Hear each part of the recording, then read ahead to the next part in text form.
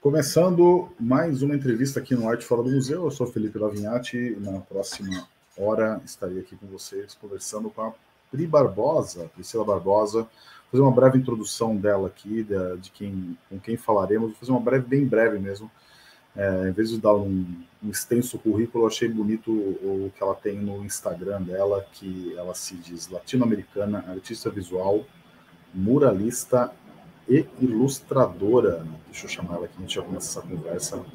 Prazer, Pri, tudo bem com você? Oi, tudo bem? Tudo bem, gente? Prazer o meu, agradeço muito o convite. Estou muito contente de poder bater esse papo com você e com todo mundo, né, que vai estar ouvindo a gente. Sim, legal. É, mas eu achei, é isso, acho que é um bom resumo do, de tudo que você faz, né? É muita coisa. É, em cada uma dessas partes é um universo à parte que se que se abre, né? Mas, é, mas acho que é isso resume bem ali o, o um pouco né, do, do, do seu trabalho. É, Pri, antes de começar, queria agradecer né, novamente por, por, você ter aceito o convite aqui de conversar com a gente. É, agradecer pelo seu trabalho, um trabalho muito bonito. A gente é fã há muito tempo aqui do, do, do seu Obrigada. trabalho. É, de ver nas ruas e de ver nas, nas redes sociais também, assim. Acho que o seu trabalho é bem compartilhável por aí. A gente acaba é, recebendo essa arte de alguma forma, física ou virtual. E eu queria perguntar para você como é, é a pergunta que eu faço para todo mundo, logo começando, que é como você está, está tudo bem com você, né? Porque é isso, estamos aí dois anos já de, de pandemia, mudou a cabeça de todo mundo, mudou o mundo, né? Na verdade. E aí já emendando com uma pergunta que é sobre é, como que a pandemia afetou o seu trabalho, né? A gente tem falado com muitos artistas e, e vários deles relatam como, é, principalmente no começo da pandemia, né? O, o, quando tentou-se fazer uma quarentena, é, os artistas se viram mais é, isolados, né? Menos com menos contato com pessoas, menos contato com as ruas e acabaram tentando novos estilos, tentando novas técnicas, novos estudos, né? Outras coisas se abriram. Eu queria te perguntar exatamente isso, se está tudo bem com você e, e como que esse período é, influenciou o seu trabalho. Olha, está tudo bem dentro do possível, né? Acho que a gente teve realmente dois anos muito complexos e a vida não para, né? Então outras questões vão vão se atropelando, né? Vai tudo meio que é, acontecendo ao mesmo tempo e rápido demais, né? Acho que a pandemia e, e agora, nesse momento, é, que muita gente entende como um pós-pandemia, né? Algumas pessoas entendem ainda como pandemia, eu ainda entendo como pandemia. Eu acho que também está sendo um momento bastante complexo e que mais para frente a gente também vai conseguir entender como esse momento agora também está impactando no, nas nossas carreiras, embora a gente é, esteja podendo né, sair, encontrar as pessoas, enfim. É, para mim, os dois anos foram de muita, muita experimentação, acho que no sentido de poder me dedicar mais a coisas que antes eu não tinha tempo, né? Então, dentro da minha produção, é, algumas coisas acabavam se tornando prioridade, porque eram projetos é, remunerados, projetos que estavam em andamento, enfim, e acabava não sobrando tanto tempo para investir em coisas que eu queria experimentar, em linguagens que eu queria é, me aprofundar mais. Então, a pandemia foi, embora muito ruim, uma oportunidade de, de experimentar essas, essas novas possibilidades dentro do que, do que o meu trabalho é, propõe, né? Para mim, nesse caso, eu pude voltar, né? Fazer esse retorno à pintura, que era algo que durante a minha carreira, assim, tinha ficado em segundo, terceiro, acho que terceiro plano, né? Porque a ilustração digital continuava sendo a base do meu trabalho, né? Em, em termos de remuneração mesmo, né? E o muralismo tinha entrado também recentemente e a pintura foi a última coisa, assim, até porque é um mercado muito diferente, né? Então acho que é, exigia também um, uma estratégia melhor de inserção nesse outro mercado. É, se, perdão se eu estiver falando alguma besteira, mas você acabou acaba começando mais pelo, pela arte digital e depois você vai para o analógico, você fez um processo de transição que normalmente é o contrário dos artistas, né? Eles vão Sim. é, realmente, a maioria das pessoas faz o, o inverso, né? Mas no meu caso, a minha carreira se estabeleceu na ilustração digital. Então, eu, eu me tornei uma artista conhecida pelo digital. A partir do digital que eu decidi experimentar o muralismo e mais recentemente a pintura. Embora eu seja formada em artes visuais, é, a carreira realmente começou na ilustração digital, assim, uma carreira autoral, né? Interessante. É, é, o nosso papo aqui não vai ser cronológico, tá? Então eu vou perguntar de coisas uhum. agora, né? Coisas do para frente, coisas para trás também. Mas eu queria que você falasse um pouco. É, você falou que você acabou estudando bastante nesse período, né? Teve alguma técnica nova? Você falou que você foi para pintura, né? Você nunca tinha pintado antes até então? Foi a primeira vez que você, você de fato pintou? Ou você regressou para uma coisa que você falou assim, puta, naquele momento não, não era hora, mas agora eu consigo me dedicar a isso? É, eu já tinha pintado. É, desde criança, eu sempre tive muito interesse, muito interesse por arte, assim. Então, é, pequenininha, assim, com os meus oito, nove anos, os meus pais me incentivaram a pintar. Então, naquela papelaria do bairro, assim, que tinha, né? Eu sou da Zona Leste de São Paulo. Na papelaria do bairro, que conseguia comprar uma tela ou comprar uma tinta óleo, naquelas cores bem reduzidas, assim. Então, eu sempre tive esse incentivo. Embora os meus pais não tenham é, uma formação acadêmica e nem muito conhecimento é, de arte, eles sempre perceberam que era o que eu amava fazer, né? Então, desde pequena eu experimentava a pintura, né? Como uma brincadeira, como uma coisa lúdica mesmo. Eu acho que isso é até uma coisa boa, assim, porque eu me sinto à vontade para experimentar coisas novas, né? Então, quando eu fui na faculdade também, quando eu fui para a faculdade eu também pintei bastante, mas eu me lembro que na faculdade eu pensava assim, eu nunca mais quero pintar na minha vida. Eu quero me formar para eu nunca mais ter que fazer uma pintura, porque dá muito trabalho, isso já é muita coisa, e eu sou super metódica, né? Eu sou super organizada, assim. Então eu falava, meu Deus, faz uma bagunça, não, não é para mim. E aí, obviamente, né, a gente cospe para cima e eu do digital fui para o muralismo, que é o que faz a maior sujeira. Assim. É, então, depois do muralismo, eu falei, acho que dá. Exato. Eu falei, acho que dá para encarar a pintura. Eu tinha, tinha sentido vontade, assim, em 2019, eu comecei a sentir vontade de, de pintar novamente. E mas eu, eu senti vontade de pintar mais, porque como eu já estava fazendo os murais, eu sentia que eu, pintando telas, eu poderia experimentar um pouco mais de como, como adaptar a, a, a um, como posso dizer? Como adaptar as características principais do meu trabalho da ilustração digital no analógico. Então foi mais no começo nesse intuito de experimentação e não de pintar telas para vender nem nada. Uhum. Mas aí eu fui gostando, né? Justamente por isso eu escolhi a tinta acrílica, porque pensando na rapidez de secagem, né? A técnica que eu faço nas telas é muito parecida com a maneira que eu pinto no mural e também é muito parecido com a maneira que eu pinto no digital. Então eu meio que tenho as mesmas etapas para todas as coisas. Então acho que por isso também que os trabalhos ficam muito parecidos. É isso que, eu, isso que eu queria até te perguntar, porque são meios muito distintos, né? Uma tela é uma tela, um mural é um mural e o, e o digital é o digital. Inclusive, não é nem tátil o digital, né? E, é, você joga num, numa plataforma que vai para o éter, né? Você vai para outra dimensão. E eu acho que talvez seja até mais maleável, né? Você falou que você não. não é, esse negócio da, da, sujeira da tinta, né? O, o digital você apaga muito rápido, você é, corrige muito rápido.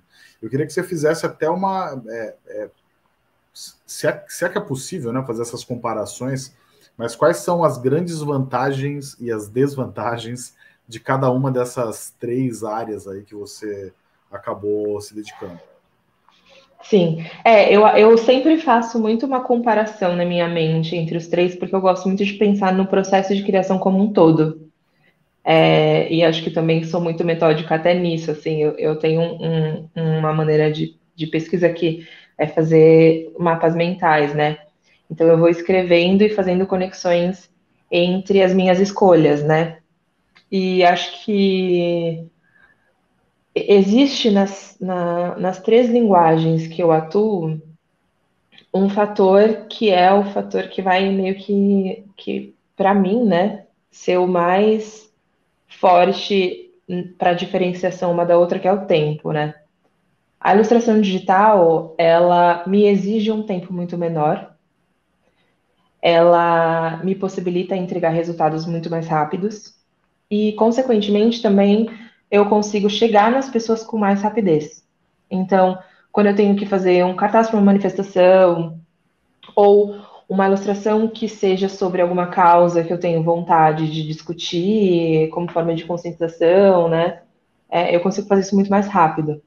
E tem é, assuntos que precisam ser tratados com maior rapidez, né? Então, é, eu que, que, mesmo formada em artes visuais, fui para a área do design um tempo depois, me acostumei muito a esse ritmo de agência, né? Então, entrega, e faz rápido, e faz, não sei o que, pesquisa.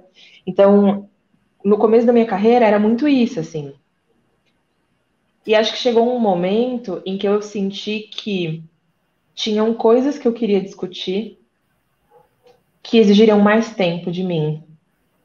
Mais tempo é, na presença daquilo que eu produzo também, sabe? Para que eu fosse amadurecendo o pensamento conforme o trabalho fosse surgindo, que eu acho que é algo que é mais, mais difícil de acontecer na ilustração digital, justamente por essa rapidez.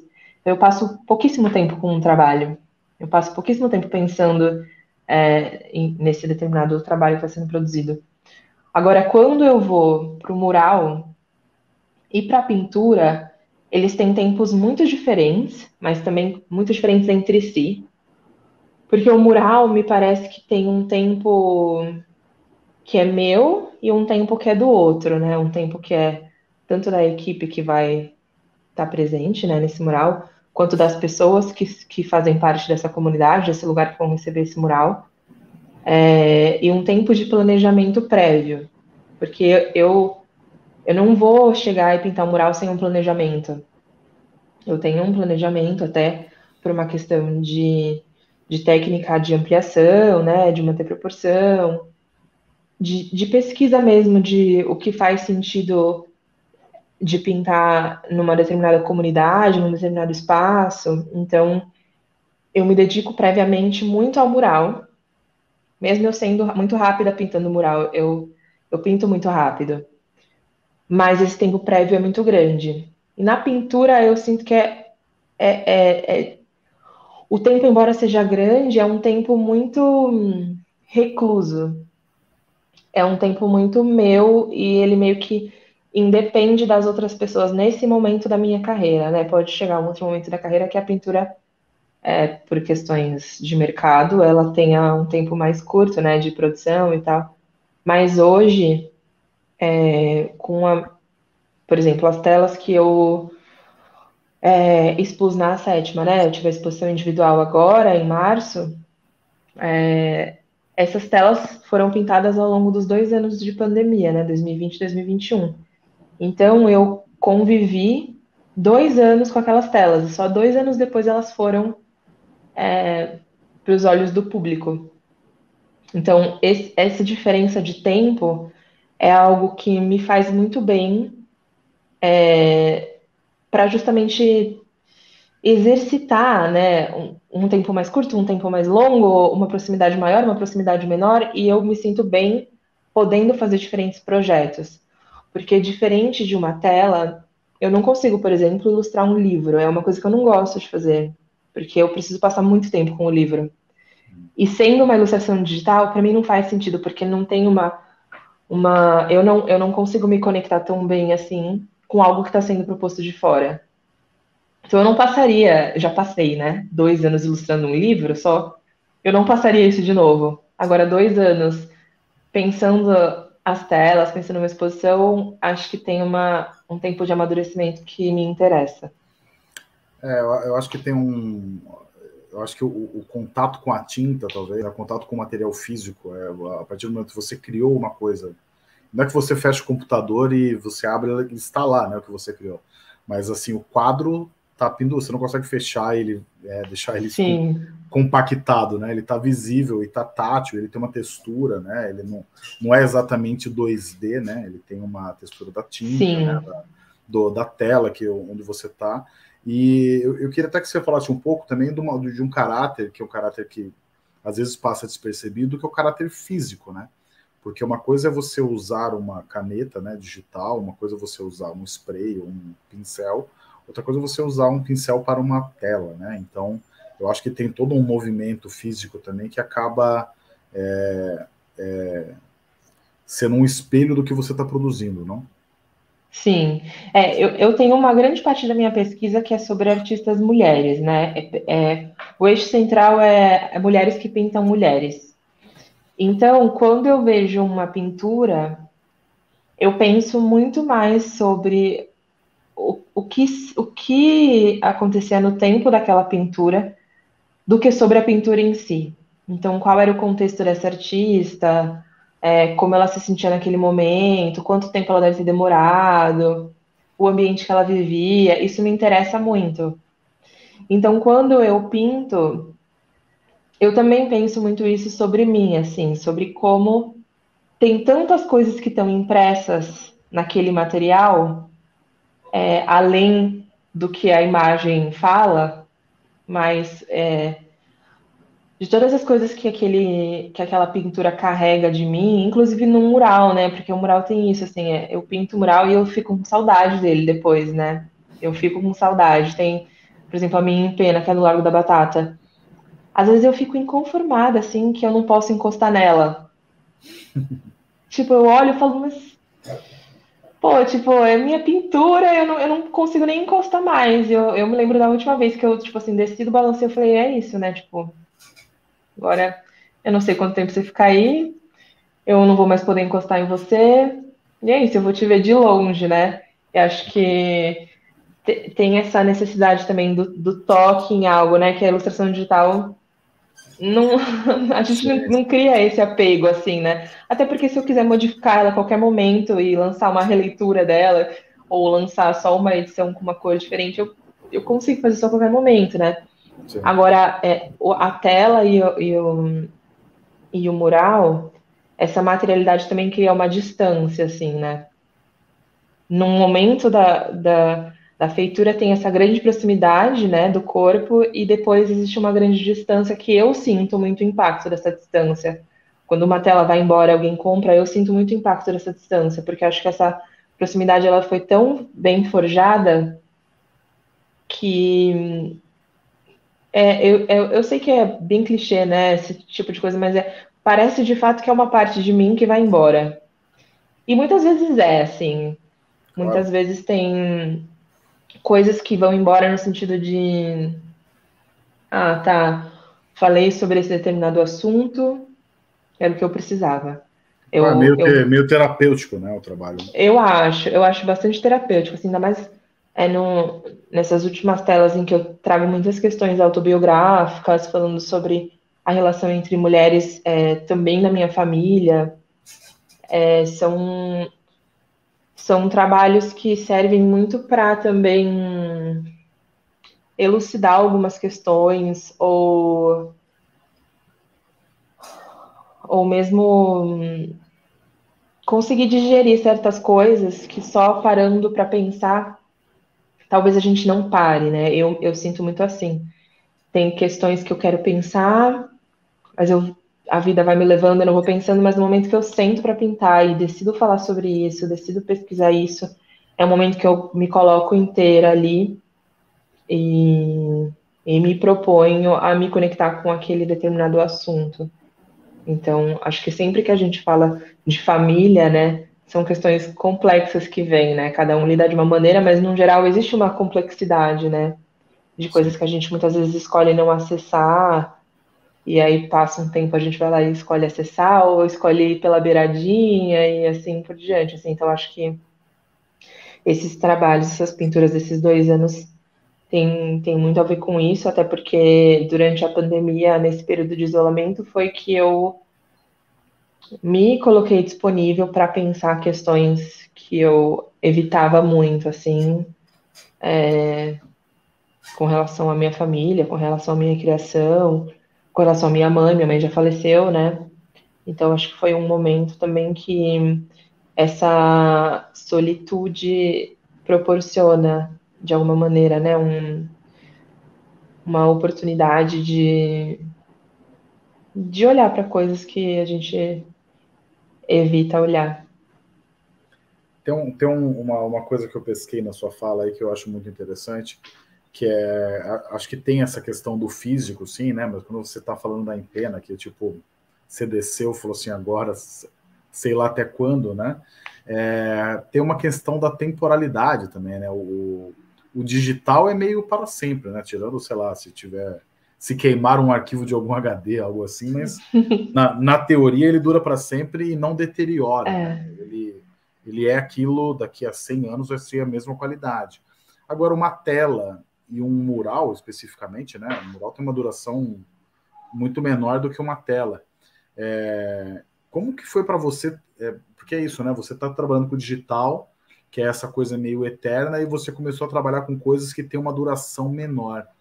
É, deve ter mexido um pouco com você também, né? Esse conceito do, de uma arte que tem um quase um prazo para acabar.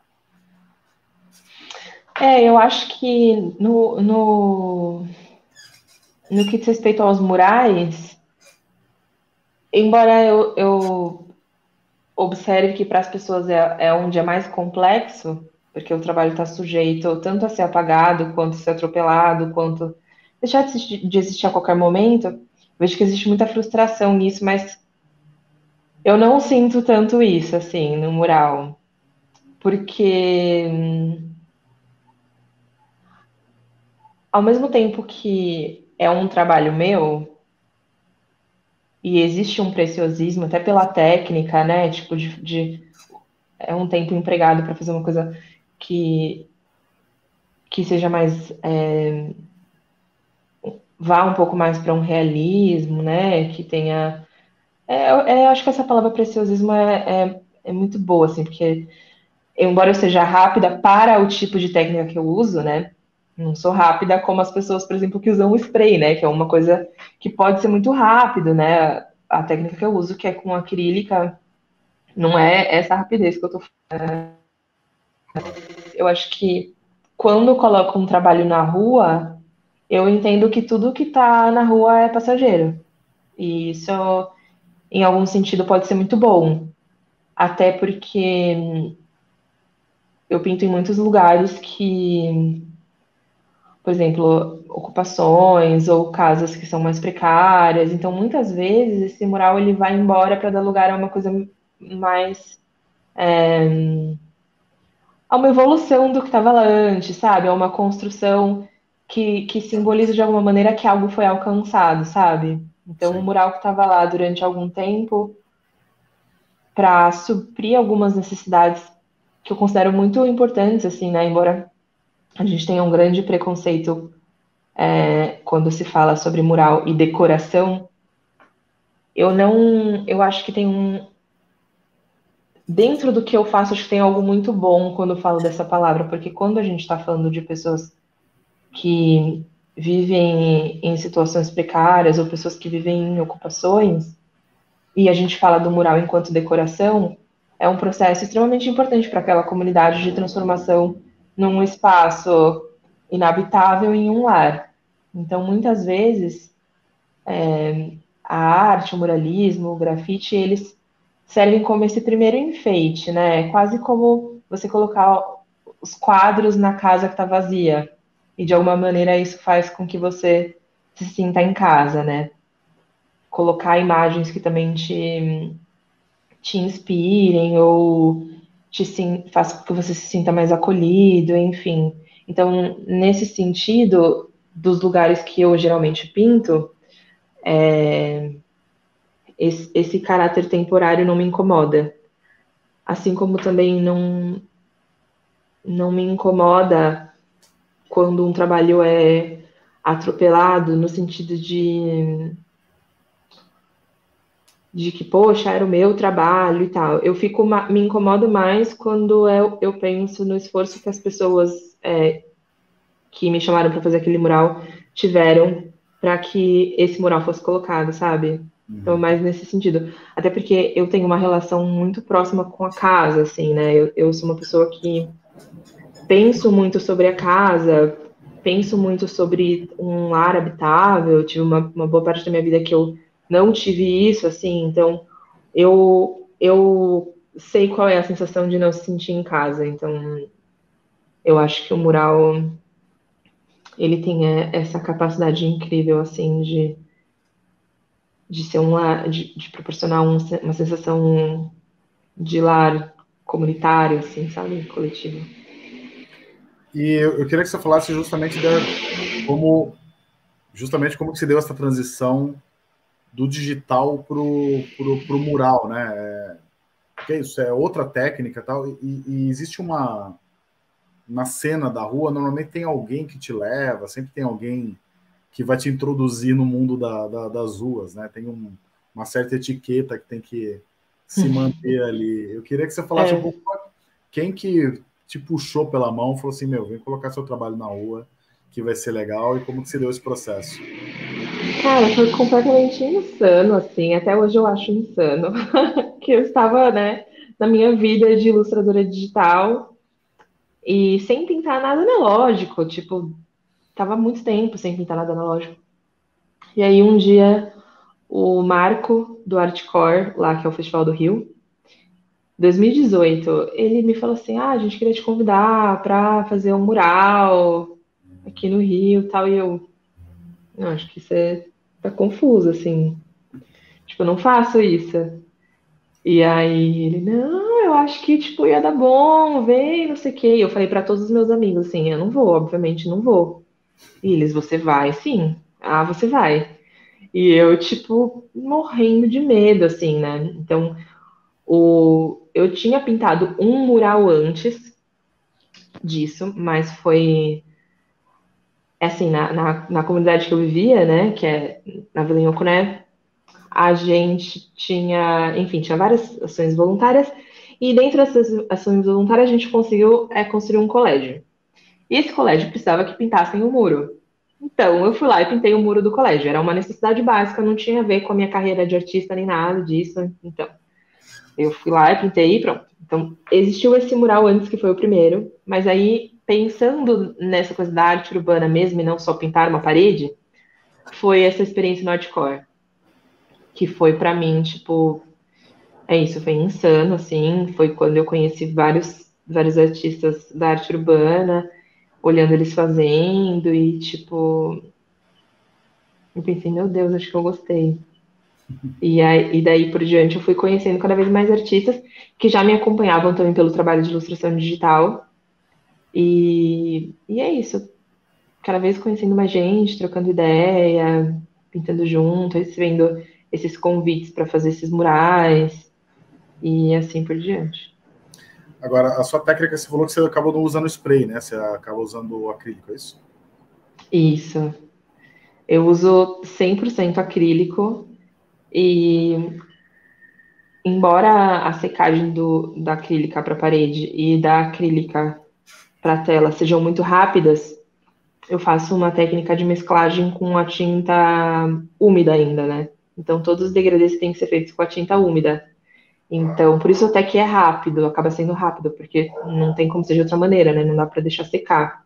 Hum. Mas a técnica é muito parecida.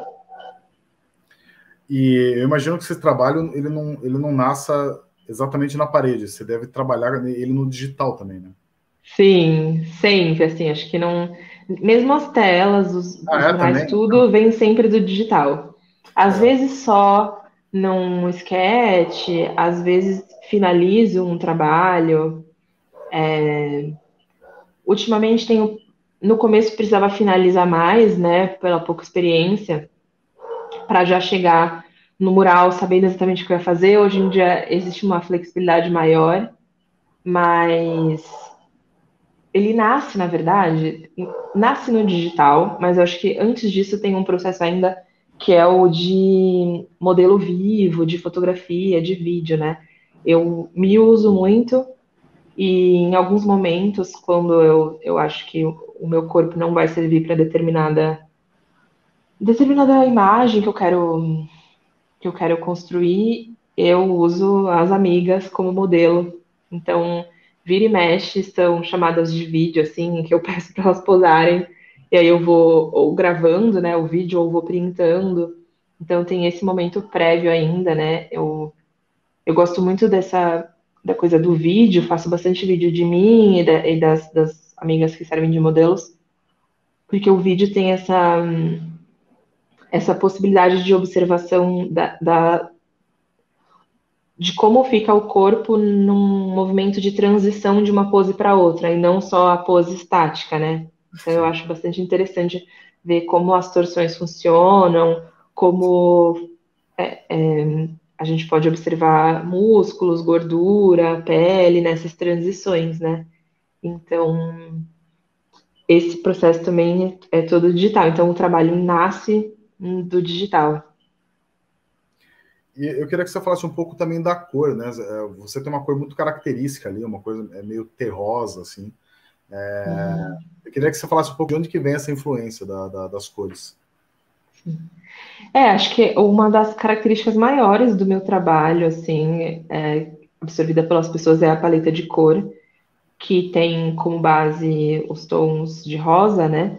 E aí os tons diferentes de pele, então desde um rosa para um bege, marrom, e a inserção do verde como contraste complementar, e ocasionalmente o vermelho, né? São acho que, acho que o máximo que eu saio disso é ir para um vermelho, mas eu sempre gostei muito de, de contraste de cores análogas, né? Então, essa suavidade que existe de transição de uma cor para outra sempre me interessou muito. Então, nessa paleta que eu escolho usar, tem esse, esse contraste que o verde traz, né? Então, é, em alguns momentos, nesses, nesses elementos botânicos são inseridos, em outros elementos, até tá aqui, né? Panuelo verde, né? Sim. Que é um símbolo do feminismo latino-americano, é um símbolo da descriminalização do aborto, né? E é um elemento muito importante dentro do meu feminismo, feminismo latino-americano.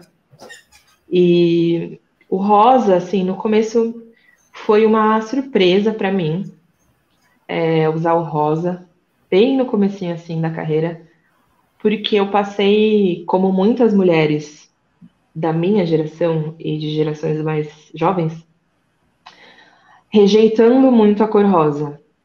A ro o rosa sempre foi um símbolo para as mulheres de uma feminilidade ingênua, infantil.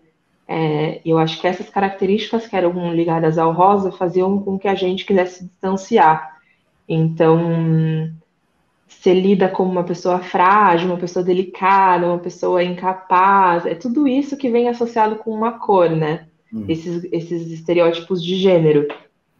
E aí, quando eu comecei a gostar da cor rosa, já era adulta, já tinha uns 25, 24, 25 anos, eu, eu achei bem estranho, assim, eu não, não curti muito, assim, que eu tava gostando, entendeu? Sabe quando você não quer admitir? Você foi aprendendo a gostar. Aí eu falei, meu, mas por quê, né? E aí eu entendi quais eram os meus, as minhas questões com o rosa. E é muito curioso, porque hoje eu converso isso no Instagram, né? Nos stories, enfim, no feed. E é um sentimento coletivo. Então, mesmo embora eu seja formada em artes visuais, eu tenho extensões é, na, na área de estudos de gênero, né?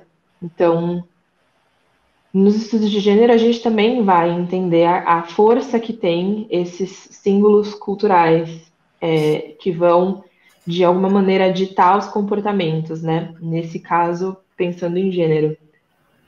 E o uso do rosa foi uma grande estratégia de ditar comportamento para as mulheres, né? Um comportamento recatado, delicado, frágil, é, infantilizado também, né? E aí isso começou a fazer muito sentido para mim dentro do que eu propunha, enquanto linha poética, enquanto questionamentos dentro do trabalho. E cada vez mais achei que fazia sentido colocar o rosa.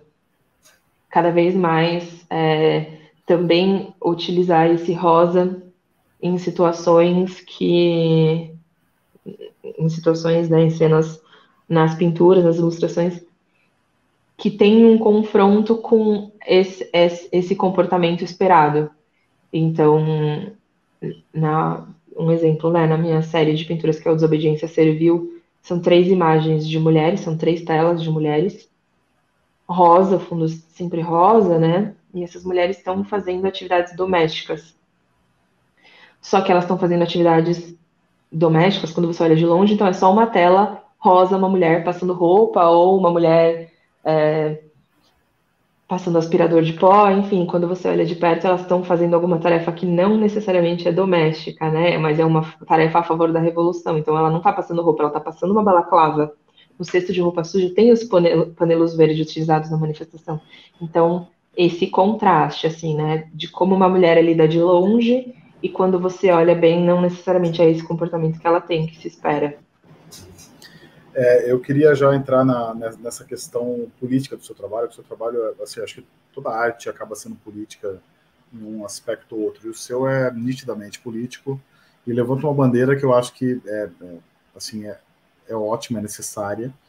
É, vou falar aqui especificamente da parte de arte urbana, mas eu acho que isso vale para qualquer ambiente, seja artístico ou não, mas as mulheres acabam tendo menos destaque, enfim, a história que sabemos que existe há muito tempo, né? É, é, é vi, frutos do, do, do, patriarcado.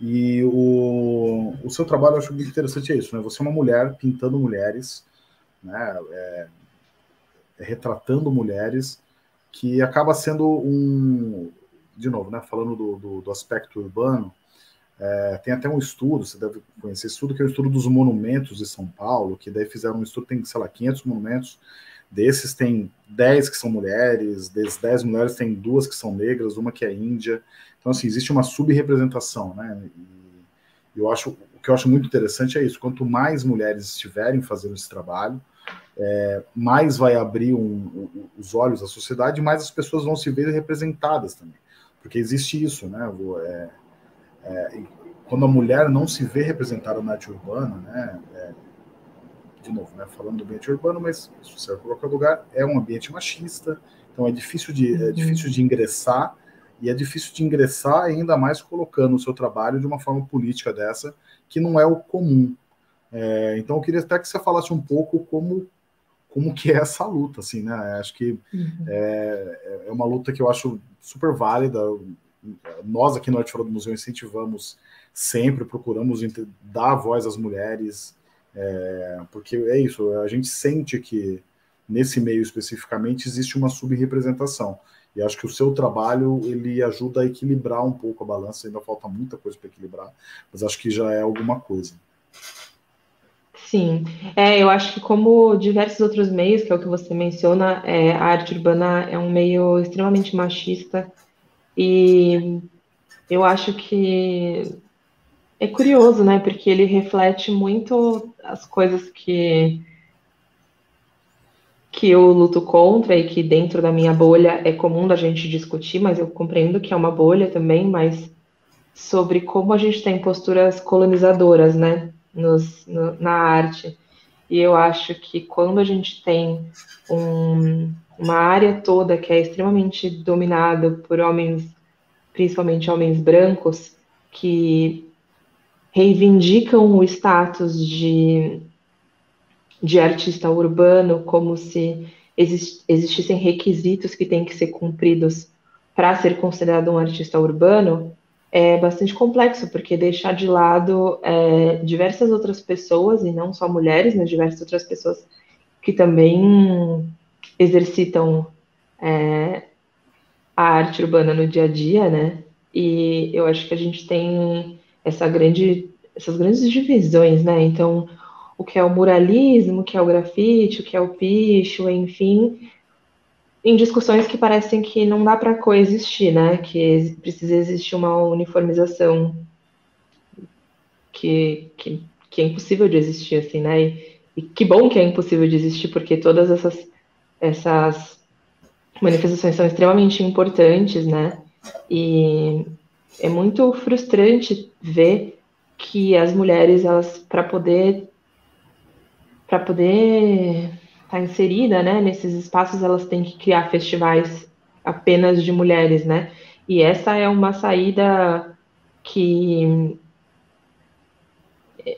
é, que bom que acontece, né, no sentido de conseguir seus espaços assim, mas não deveria ser assim. Claro. É, elas deveriam ser, ser convidadas para diversos outros espaços, né? E não são convidadas, e mesmo quando são, me parece que só existe lugar para mulheres que são consideradas com uma carreira espetacular, assim, ó, impecável, enquanto homens tem uma frase que a minha gente fala muito, que eu acho demais, né? Que é a Carol Erzengutia. Ela fala que tem espaço para os homens medíocres em todo lugar, né? Mas para as mulheres elas têm que ser espetaculares, assim. Então você tem que se provar o tempo todo, provar uma carreira impecável para você estar tá num espaço que é ocupado ao mesmo tempo por um homem medíocre. E com uma grande confiança, né? Enquanto tem mulheres com, com trabalhos sensacionais se sentindo menos tem homens medíocres se sentindo os mais incríveis do mundo, né? E eu acho que é isso. E medíocre que eu digo é a postura, né? Porque quem é quem para julgar o trabalho, né? Mas eu acho que a gente precisava precisa, né? Nós mulheres, a gente está o tempo todo precisando se, se juntar assim para fazer as coisas.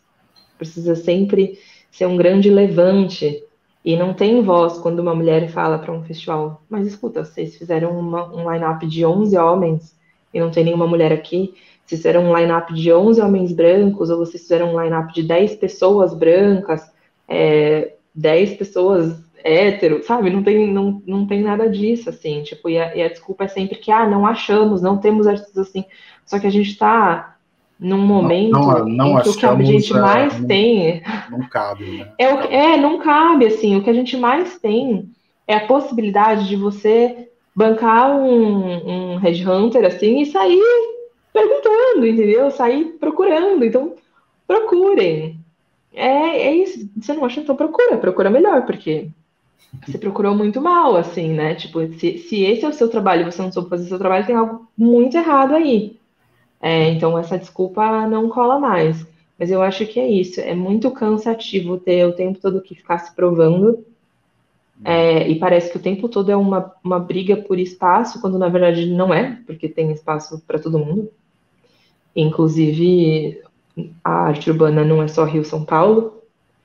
Existem muitas pessoas fazendo trabalhos que merecem muito destaque, merecem presença é, nos festivais, no, nas matérias, em todos os lugares possíveis, assim.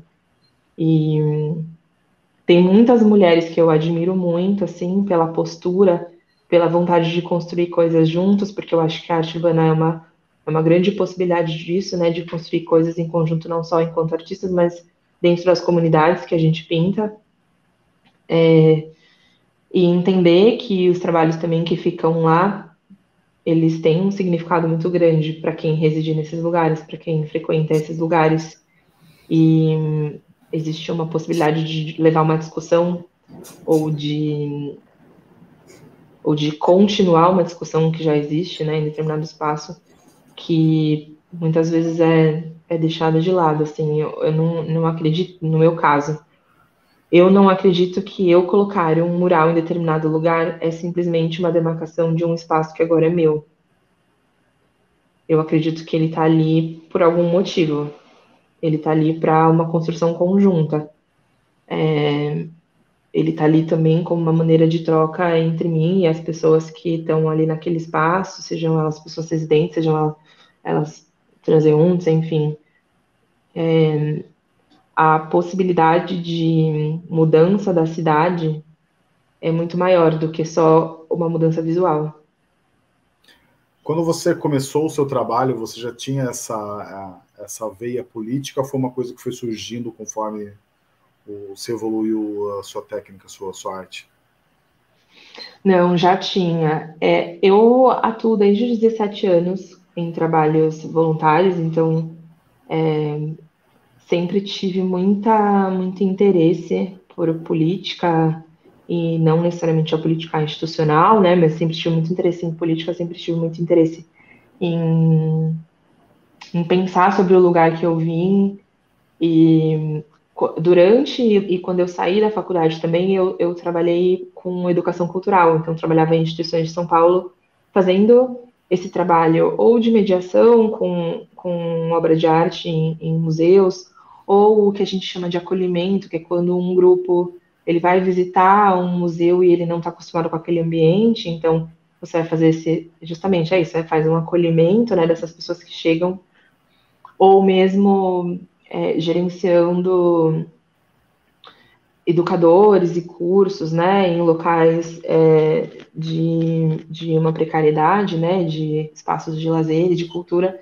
Então eu sempre convivi com isso não enquanto artista, mas enquanto a pessoa que está do outro lado, que está pensando as ações, que está pensando na comunidade, como fazer essa troca e não é, ter essa, essa, essa postura de, ah, vou lá ensinar as pessoas, eu vou deixar algo para elas, e é isso, sabe? Como se fosse o grande detentor da cultura e da arte, e assim, sabe? Que é bizarro, porque quanto mais você conversa com as pessoas, mais você percebe a capacidade que elas têm de produzir arte e de ler arte, assim. Você vê uma pessoa interpretando um trabalho, andando na rua, ela fala coisas assim, ela cria uma conexão com aquele trabalho, sabe?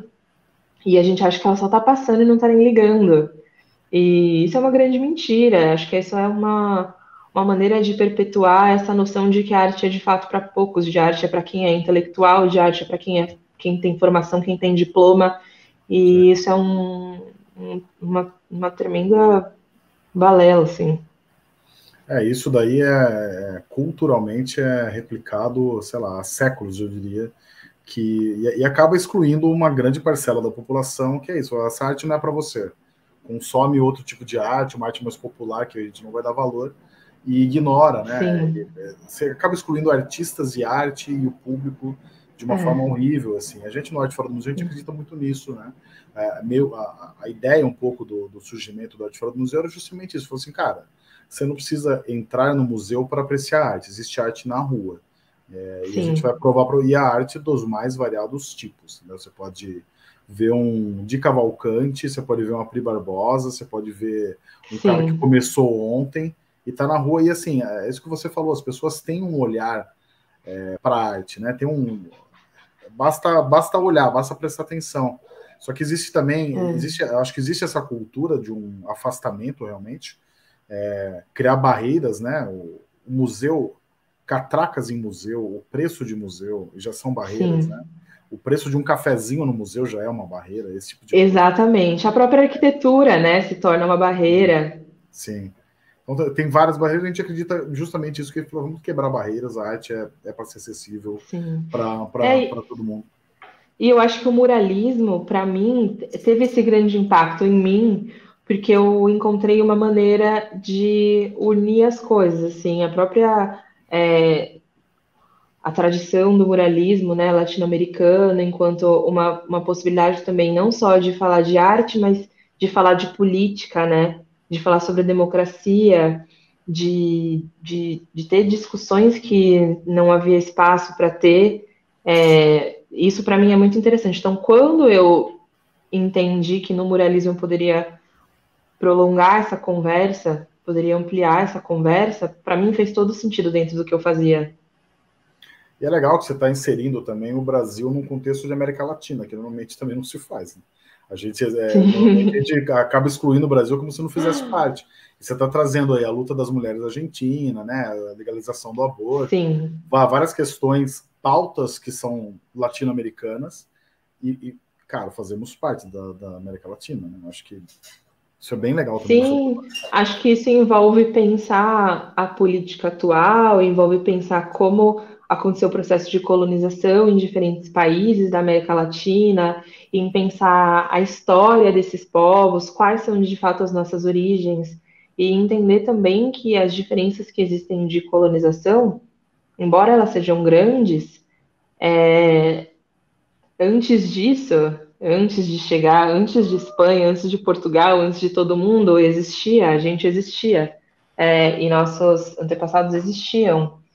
É, e a nossa história não começa a partir dessa exploração europeia, né, que é chamada de descobrimento. A nossa história não começa aí. Uhum. Então, pensar hoje também quais são os pontos em comum que a gente tem, positivos e negativos, e como é, os poderes se, se fortalecem entre um país e outro, porque quem, quem se beneficia da gente achar que a gente está sozinho, que a gente é uma ilha isolada. Quem se beneficia de tudo isso, assim? E embora é, os países de língua hispânica consigam perceber melhor, né, em alguns momentos, as características que têm em comum, também acho que existe um sentimento de, de isolamento, assim, né? Então, acho que o fortalecimento ou uma unificação latino-americana é uma uma estratégia política que eu acredito muito, e o feminismo passa por aí. A gente tem diversas, diversas exigências, diversas lutas que, que se encontram, né? A legalização do aborto é só uma delas, né?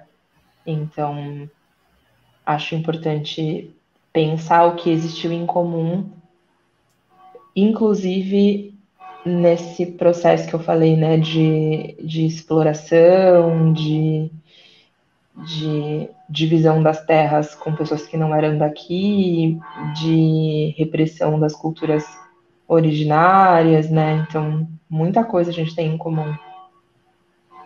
A gente está indo quase para o final aqui já, Pri, do, da, da nossa conversa, enquanto os sinos tocam. É. mas sem problema nenhum. É coisas que acontecem em, em, na rua da na rua de São Paulo. Exatamente. É, não, mas eu, é, eu, eu, queria abordar já um tema que você falou lá no começo, que você falou que às vezes você, assim, você se usa muito como, como modelo, mas você também busca é, às vezes uma amiga, né, gravar alguma coisa com uma amiga, tal, um vídeo, tal. Queria saber se existe muita procura de amigas que te procuram e falam assim, Pri, me pinta, por favor. Existe isso também? Existe, acho que mais de pessoas que acompanham o meu trabalho pela internet. É, e, e, pessoas que me procuram para um trabalho comissionado de retrato, mas eu não faço retrato, porque é uma coisa que eu sempre converso. As, as pessoas e as mulheres, por, uma, por toda uma pressão estética que existe, né? Nem vou entrar nessa, nessa questão, mas elas, elas ainda sentem a necessidade de ver uma imagem idealizada delas mesmas, que é justamente o que eu não tenho interesse. Uhum. Então, eu, eu acho que existe uma grande chance de de rolar uma frustração assim na entrega desse retrato, porque a pessoa ela não muitas vezes ela pode amar o trabalho do artista, mas ela quer um determinado olhar sobre o corpo dela. E às vezes não é isso que o artista tem a oferecer. Então por isso eu não faço esse retrato. Então, mesmo as amigas, assim, elas sabem que eu vou usar às vezes só uma parte do corpo, misturar com a parte do outro corpo, com outro rosto e assim por diante, né? Eu não vou fazer elas por inteiro, assim. Então, às vezes tem uma característica que me interessa mais, outra menos, então eu, eu deixo de lado, mesclo o meu corpo, e acho que essa constante observação. O legal é que essas minhas amigas, as que mais posam, assim, são a Flávia e a Thalita, elas são das artes do corpo. Então, de teatro e dança, então elas também têm um, uma consciência corporal muito grande. Uhum. Inclusive, a gente já fez vários trabalhos juntas, né, de corpo, de dança, né, que é uma coisa que eu também gosto muito, dança contemporânea e elas davam também um workshop comigo sobre é, desenho de modelo vivo. Então elas posavam para as alunas também, eu orientava tal. Então elas têm um grande conhecimento. Então acho que posar também não é uma coisa tão simples, né? Tipo quando é um, um trabalho, né? Você é igual ser modelo, né? Não é só você ficar lá parada, né? Você Você vai orientar seu corpo de acordo com o que esperam de você. Então, esse trabalho é bem árduo. Então, acho que as amigas ao redor compreendem que é um, é um pouco tenso, assim. Agora eu vou de fato para a última pergunta para a gente encerrar a nossa conversa, que adorei conversar com você. Eu tô louco para nos encontrarmos pessoalmente. Sim. Trocarmos, trocarmos mais ideias. Eu sei que a pandemia não acabou, mas acho que com uma certa segurança a gente consegue. Sim, né? com certeza. Mas, mas, deixa eu fazer a pergunta final para você, que é a pergunta que eu faço para todo mundo, na verdade, que é, tem a ver com essa conversa inteira nossa aqui. Acho que acredito que estamos alinhados em uma ideia que é como a arte transforma a vida das pessoas, né? A gente uhum. no Arte Fora do Museu acredita muito nisso, no poder transformador da arte, de como que as pessoas que têm acesso à arte são transformadas. Às vezes um, é um filme que mudou a vida de alguém, uma música, uma, um quadro, um mural, sei lá o que for, que acaba transformando a vida das pessoas. E você é uma pessoa que, que cria é, obras que transformam a vida das pessoas, né? Seja no digital, seja em telas ou seja em mural. Eu queria que você contasse alguma história de alguém é, que teve um, algum contato com uma obra sua e foi impactada, foi transformada de alguma forma. Se você pudesse contar essa história de transformação através da sua arte para a gente. Uhum. Olha, me veio agora uma na cabeça, é, que é da Sandra. A Sandra, ela é uma paciente do Pérola Byton. Ela é uma paciente em tratamento contra o câncer de mama. Pérola Byton é um hospital especializado em saúde da mulher, né? E há alguns anos atrás eu fui convidada para um projeto para pintar um busto. Então eles me forneceram um busto, né? É, de mulher. E eu tinha que pintar algo nesse busto, como uma campanha publicitária mesmo, né? Que conscientizasse as pessoas do câncer de mama. E aí eles me davam uma história de uma paciente é, para que eu tivesse como inspiração. A história que eu recebi foi a da Sandra. Opa! A história que eu recebi foi a da Sandra. E ela contava um pouco como foi a descoberta do câncer, como foi o tratamento, enfim. É, eu fiz esse busto. É, esse busto foi censurado, porque a pintura era realista demais para estar num espaço social, de convivência. Ele acabou ficando no Jardim das, da Casa das Rosas porque não podia ficar no ambiente interno, né? E, enfim, esse busto, muita gente tirou foto, amou, tal, não sei o quê, mas a pessoa mais importante de ver o busto era a Sandra. E a Sandra ficou muito contente. Ela ficou muito feliz, me mandou mensagem no Instagram e tal, e eu não tinha tido contato com ela, né? Só tinha lido a história. Sim. Enfim, aí a Sandra, no final da campanha, ela foi presenteada com o busto. O busto hoje fica na casa dela. Legal. Só que algum tempo depois, eu e a Sandra, a gente se encontrou novamente, porque eu fiz uma campanha para 3M falando sobre mulheres na ciência e fiz um painel bem grandão, assim, né, que ficou na estação Sé e depois foi para outras estações. Um dia eu recebi uma mensagem da Sandra no Instagram falando: Pri, fiquei muito feliz que o seu mural, seu painel vai ficar no Pérola Dayton. E eu não sabia. Eu sabia que o mural ia depois para alguma instituição, mas não sabia qual. E o pessoal da campanha não me falou, sabe? Essas coisas de produção que acaba ficando, né, para trás tal. E aí, no final das contas, hoje, esse outro painel fica no Pérola Byton, no saguão do Pérola Byton, onde a Sandra faz tratamento. E eles estão inaugurando a nova sede agora no segundo semestre. E para a inauguração vai ficar do lado do painel o busto que eu fiz da Sandra. Pô, que demais. Que bom, muito né? legal, né? Não, muito legal, e é isso. Acho que é, a arte, é, isso, isso que eu, se você deu uma analogia que eu achei muito legal, né? Do, é, esses quadros que às vezes você coloca em alguma comunidade, sei lá, é, é, é um quadro numa casa que está vazia ainda, né? Eu acho que é, tem, a arte tem esse poder de ser ilustrativa, ser decorativa, mas é, eu acho que tem esse poder também de mexer com a vida das pessoas. Eu acho que um, um trabalho seu num lugar que é um, é um, lugar de cura, né, um lugar de tratamento, Sim. acho que acaba fazendo parte até do tratamento de alguma forma. Assim, muito... Sim, eu recebo muitas mensagens no Instagram de mulheres, até mulheres da minha idade, né, mais jovens, que são é, casos mais incomuns, né, do câncer de mama, mas que acontecem, de mulheres falando, ah, hoje é meu primeiro dia na químio e eu tava com muito medo, e eu cheguei no hospital e dei de cara com o seu mural, e falei, ah, é o mural da Pri e tal, então me fez me sentir um pouco mais tranquila, assim, né, que é um lugar que eu vou ser acolhida, que eu vou ser bem cuidada, então isso de as pessoas, né, tipo, de ser conhecida pelo público em geral, não só por artistas, é muito importante para mim nesse nível, assim, de identificação, né, das pessoas saberem também um pouco sobre mim. A minha mãe faleceu de câncer de mama, então eu já falei sobre isso algumas vezes. Então, esses trabalhos são muito especiais é, para mim por conta disso também, porque eu sei como é passar anos dentro de um hospital, é, vendo a minha mãe fazer um tratamento e, e sentir que embora as pessoas fossem incríveis, aquele ainda é um hospital e não existe nenhum objeto de identificação lá dentro para mim, né? A minha adolescência inteira foi assim, então é, acho que é um dos trabalhos que mais me impactou por isso também. Foi o, o, um dos trabalhos que deu start assim para que eu me sentisse à vontade para nas pinturas, nos trabalhos, falar um pouco sobre esse processo, falar um pouco sobre a minha mãe, falar sobre a minha família. Então foi um trabalho, acho que muito importante para mim, um marco mesmo. Pri, obrigado pela conversa, foi ótimo conversar com você. Eu que agradeço. Parabéns pelo seu trabalho, seu trabalho é incrível mesmo. É, é isso, né? Além de ilustrar bem a, onde, ser, onde quer que ele esteja, ele tem um peso político muito forte. Eu tenho certeza que ele transforma a vida de muita gente. E antes de acabar, só vou passar a palavra para você, se quiser fazer um encerramento, uhum. fique à vontade.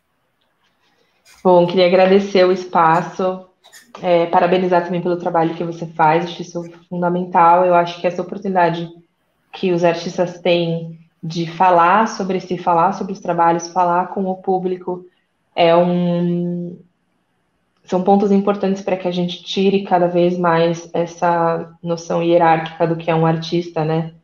E as pessoas saberiam um pouco mais da gente, né, da vida pessoal, dos processos e encontrar essa identificação. Então, eu agradeço demais a oportunidade. Pri, beijão, valeu e marcamos um, marquemos um café para conversarmos ao vivo. Com certeza. Beijão, tchau, tchau. Beijo. Isso foi a Pri, gente, valeu. Mais uma conversa aqui no Arte Fora do Museu e semana que vem voltaremos com mais um convidado incrível também. Até.